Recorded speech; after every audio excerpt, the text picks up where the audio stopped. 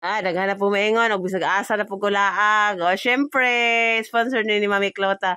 So, di anita karon sa La Trinidad Benguet. Ito ang tinatawag na Colors of Valley. Ay, baliktad. Valley of Colors pala.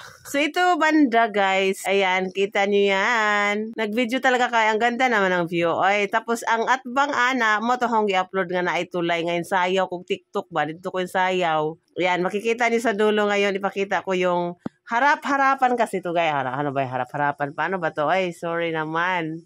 Wala akong masabi. Basta ang ganda ng mga bahay nila dito. Ito talaga, oh. Sa git. Ay, Diyos ko. Samok, pag mga sakyanan, ay, kanang labay man, oh. Ay, siyempre, nagdaganta. So, mauli ang atbang ato.